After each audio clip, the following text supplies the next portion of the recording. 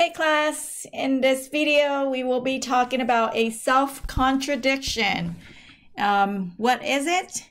It's a statement that is always false. Always false. Okay, so I'm going to try to give you an example of um, how you can tell if it is uh, a statement, a compound statement, is a contradiction.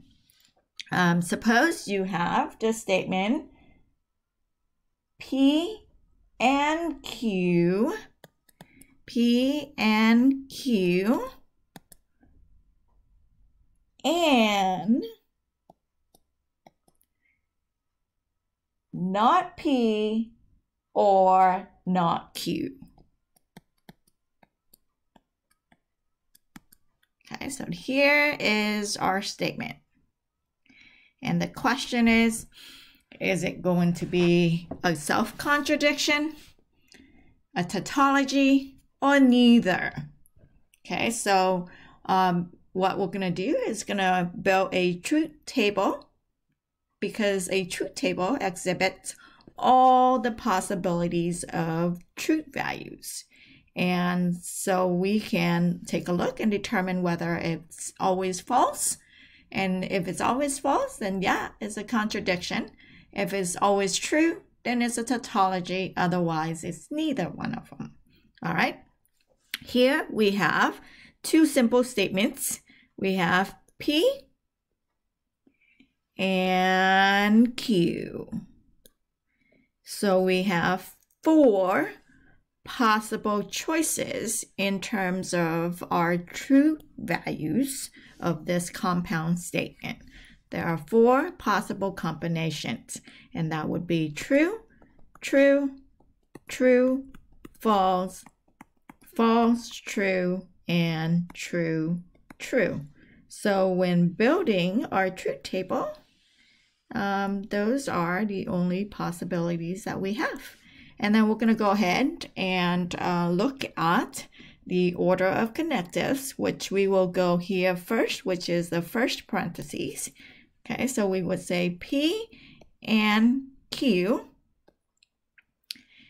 And then we would go over to the other um, parentheses. We are having negation and then or. So in terms of which one am I going to go next? So I'm going to do this next. Negation, go before or. Uh, that negation, and then this negation. And then the fourth choice is here would be or. Okay, so that's the order. And then this would be my fifth order here in terms of listing them out. Okay, so uh, first P and Q, and then we would say not P,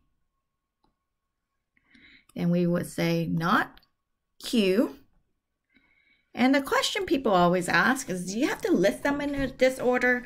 Uh, you know, really, no, but um, it would be, uh, it would make sense. It's logical, right? Because if you list them in order, then the next step would be just the previous one. So it's easier to, to look at.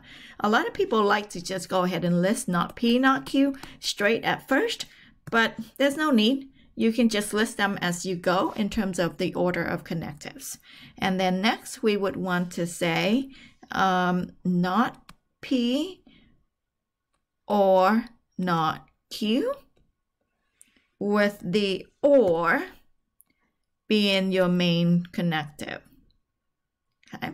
And then we would do the whole entire statement, which would be P and Q and not P or not Q, with the and being your main operator there, um, or connective there. Okay, so here we would say P and Q. P and Q. Um, the and statement, how does and statement work? When both are true, then the statement is true. Otherwise, it is false. Wait a minute. Did you see an error here? This last thing should have said false, false. Therefore, this is false. Okay? And then not P. Not P means the negation of P, which have the opposite. Okay, so the uh, connector here is not. Same here, not Q. So the opposite true value of whatever P is. So if first P is true, so this would be false. And then this would be false. This would be true. And then this would be true. And next, we would say the opposite of whatever Q is. So that is false, true, false, true.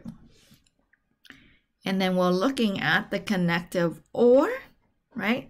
Or means this or that or both. So as long as you have one true in there, then it will result in a true statement. Both are false, so then the or statement is false. One true there, so this is true. One true there, so this is true. Two truths, then it would be true. Okay, so next we are looking at the and statement and we are going from this to this and we are connecting with and.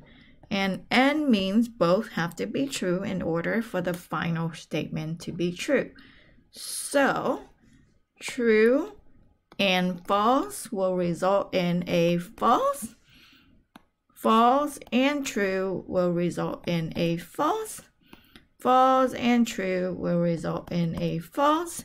And then false and true will result in a false.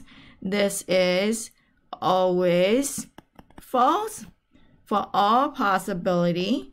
Therefore, we call this a self contradiction. Okay, and that is that.